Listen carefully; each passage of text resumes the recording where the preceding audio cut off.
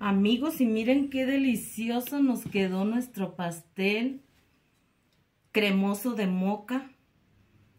Miren, bien delicioso.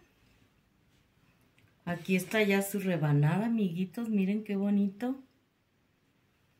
Ya ustedes si lo quieren rellenar, lo rellenan. Si no lo quieren rellenar, no lo rellenen. Pero en este caso, se los, como se los hice en dos, en dos moldes del número 16. Estos son nada más 250 gramos y miren qué bonito queda. Qué alto queda, miren. Porque lo hice en dos moldes. Ya les tengo, ya les puse la receta. Nada más se los quería presentar cómo queda de bonito, amiguitos. Espero que lo hagan y me digan si les gustó. Pues nos vemos, amiguitos. Espero que lo hagan. Ya tienen la receta. Y no se olviden de dármele un like, un corazón, un comentario si les gustó. Bienvenidos a todos. Déjenle acomodo.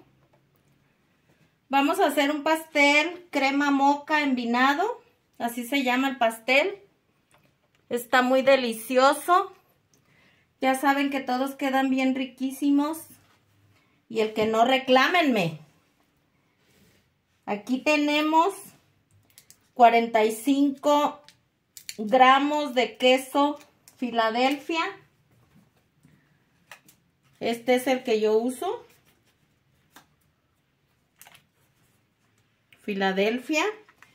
El queso entero es para un, un kilo de harina. Pero como vamos a hacer 250, entonces este es de 180 gramos. Le vamos a quitar nada más una cuarta parte porque vamos a hacer un cuarto de harina, que son 250 gramos. ¿Sale? Entonces vamos a poner primero el queso. Está durito. Porque se me olvidó sacarlo de refrigeración. Pero por eso me gusta usar este porque está muy cremoso. Y el pastel queda bien cremosito, amigos. Bien delicioso. Vamos a empezar por acremar el queso con lo que son 150 gramos de azúcar. Eh, se las puse aquí para que vieran cuánto se hace y se hace casi tres cuartos de taza, miren. Pero es mejor que la pesen para que les quede bien. Vamos a empezar a cremarla.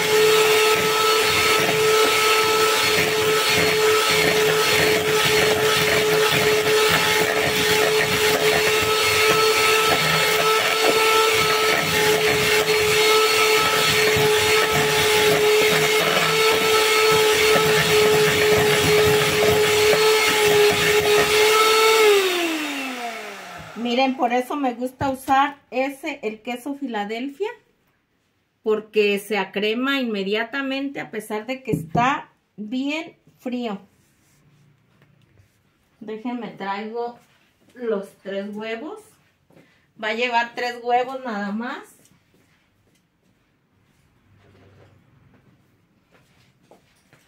Ya los tengo aquí listos.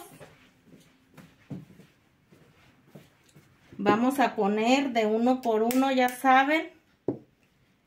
Esto tiene que ser 150 mililitros o lo que son tres huevos. Ya uno por uno.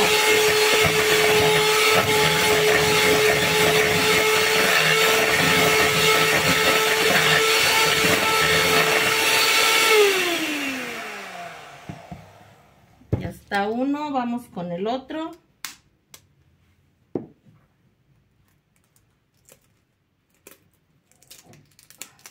Ay, este parece la cáscara de un papel. Hay unos que salen así.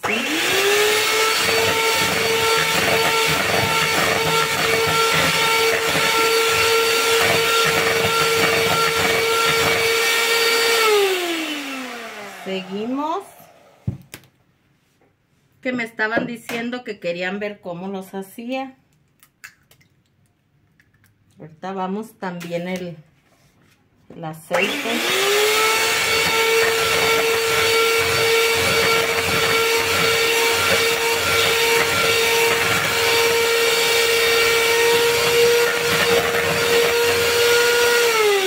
Recuerden que cuando no es bizcocho, o sea, no va a ser para tres leches, solamente así lo dejamos.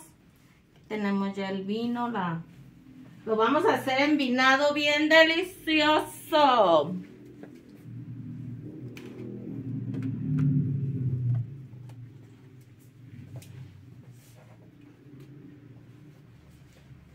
Que voy llegando. Pero ahorita quiero que ustedes vean.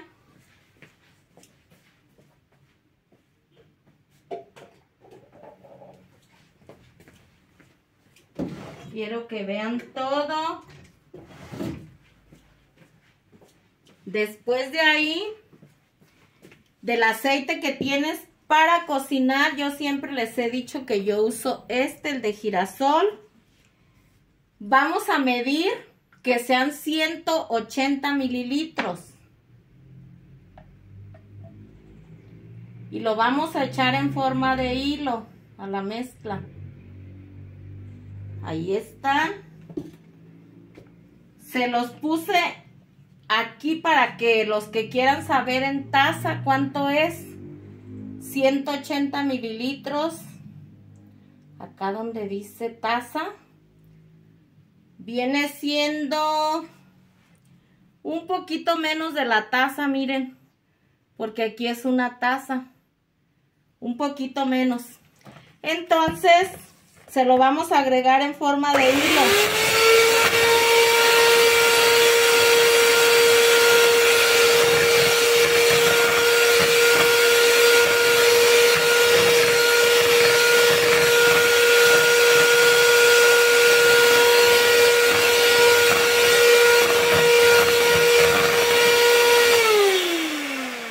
Miren, ya se hizo como una cremita. Ahora Aquí tenemos los secos. Tenemos 250 gramos de harina. Aquí está en medio lo más blanco, una cucharada de royal, que son 15 gramos. Una cucharada de cocoa, a ver, se las pongo al revés. Una cucharada de cocoa, así como la agarran. Y una cucharada de café, porque es de moca, tiene que llevar de los dos. Vamos a revolverle. Y aquí tenemos media taza de crema. Crema de leche. Miren.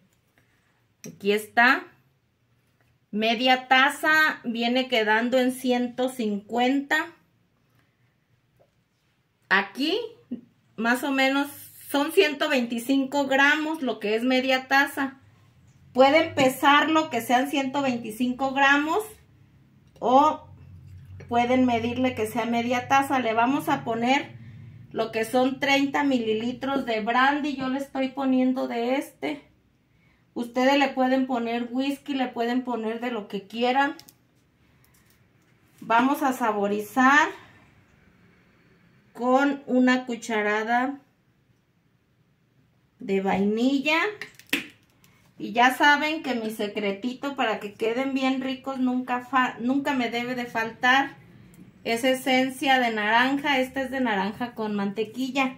Si no tienen, ya saben que le pueden poner ralladura de una media naranja. Es poquitito nada más para que dé poquito el sabor. Entonces ahora sí vamos a alternar los líquidos con los secos, empezando siempre, ya saben, por los secos y terminando también con los secos, ¿sale? Como ya le agregamos la crema con la vainilla y las esencias, ahora la última parte de nuestra harina, lo que son los secos, y lo vamos ahora sí a batir. yo lo voy a hacer en dos moldes del número 14, pero ustedes lo pueden hacer, ya saben, en el del número 22 para que les rinda un poco más. Entonces ahorita que ya le pusimos todo, ahora se a batir.